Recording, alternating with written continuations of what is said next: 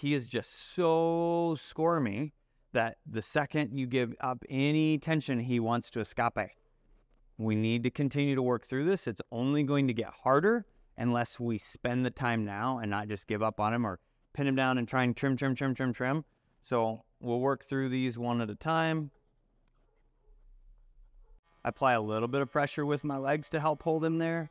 And then also I've got my hand, arm kind of bracing across his chest. Just relax here. We'll do a little bit of grinding per nail.